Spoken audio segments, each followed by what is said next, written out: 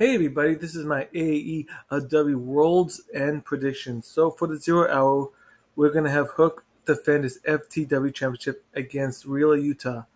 I got Hook to retain. Also for the zero hour, we're gonna have a 20 man battle royal. I do not have a pick because I do not know who's going to be in it. Now for the main card, we're gonna have Andrade taking on Miro. I got Andrade for the win. Then we have Swerve Strickland taking on Keith Lee. I got Swerve Strickland for the win.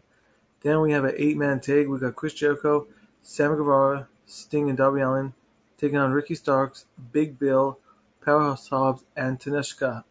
I got Chris Jericho, Sammy Guevara, Sting, and Darby Allin for the win.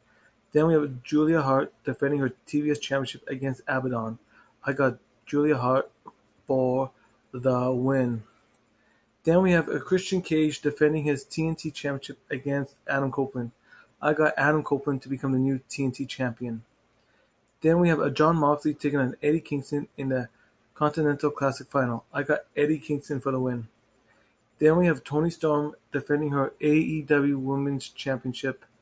I got Toni Storm to retain. Then we have MJF defending his AEW World Championship against Samoa Joe. I got Samoa Joe to become the new AEW World Champion and this has been my AEW World's End predictions. If you're new here, please hit the like button, hit that bell for notifications if you want. Please subscribe.